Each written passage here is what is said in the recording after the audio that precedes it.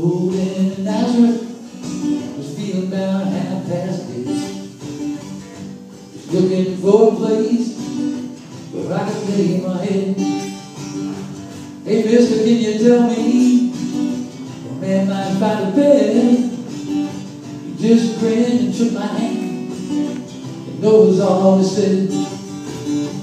Take a load off Annie. Take a load free. Take a load off Annie. Put the load right on me.